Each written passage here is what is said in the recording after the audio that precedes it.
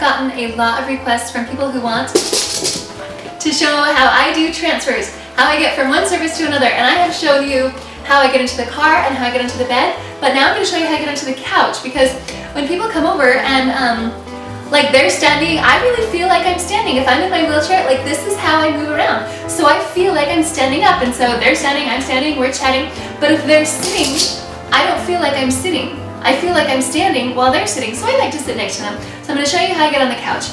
And so what I do is I position a little bit closer, get off my leg, pull off just my one leg, the one that's closest to the, to the whatever I'm getting on the couch, slide forward a little bit and it jumps my wheelchair a little bit with each push because I'm on, I'm on a hardwood floor.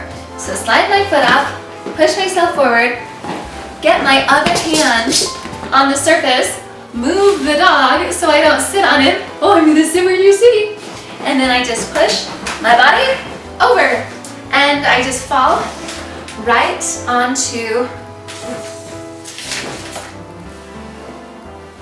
and now I'm sitting here on the couch next to my guest who's also sitting. Sit, sit.